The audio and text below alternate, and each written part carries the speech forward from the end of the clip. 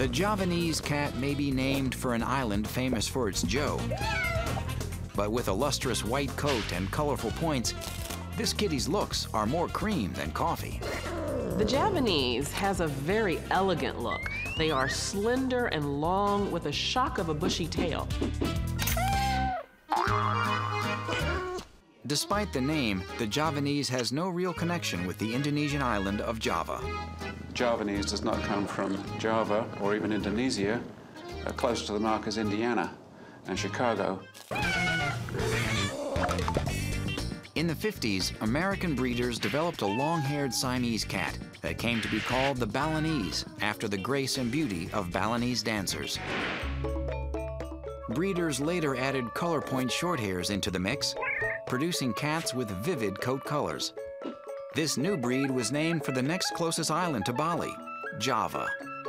The big difference between Balinese and Javanese is that the Javanese comes in a rainbow of colors. Otherwise, they're almost identical. The vivid colors of the tips of the Javanese's tail, head, and paws, called points, are this cat's most distinguishing feature. Color combinations include lynx, cream, flame, and tortie points. The Javanese also has a svelte Siamese-like body that's surprisingly brawny. They're actually very ballerina-ish and very long and gentle looking, but when you go to pick them up, they're pretty muscular. Even though the Javanese is a long-haired cat, this breed is famous for being low-shedding and easy to groom. It's sort of the lazy man's long-haired cat. The long coat feathers into a long, distinct, thick, plume-like tail. On the body, it should be about two or three inches and a lot longer on the tail to form that gorgeous plume.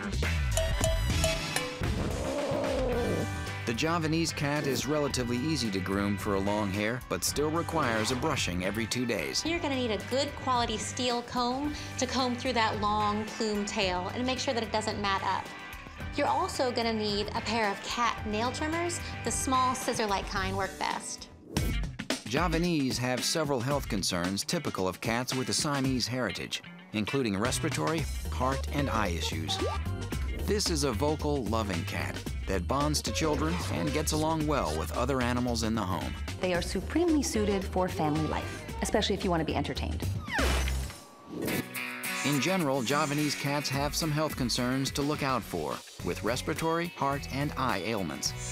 For a long hair, the Javanese is easy to groom, requiring only a good brushing every two days. And this social breed will fit in well with almost any family and does great with children who know how to properly handle cats.